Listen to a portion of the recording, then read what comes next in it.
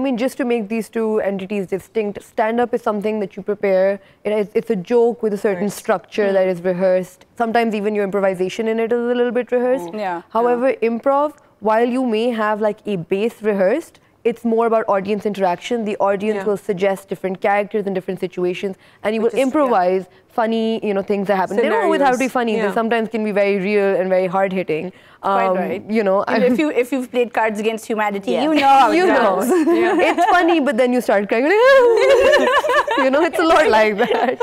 So, I feel so exposed. yeah. so in that, in, in stand up, I think you you know um, exactly what you're putting out of yourself to the world. This Yeah. is what I'm presenting. You take it. With improv, you're not always sure what you are going to be giving to the world because of the interaction that you will have with any given audience, and audiences are different everywhere. You know, This is true. This is true. Yeah. And I think by and large, Lahore audiences seem to be um, friendly and interested and sort of Most of our audiences, though, are pretty much our friends.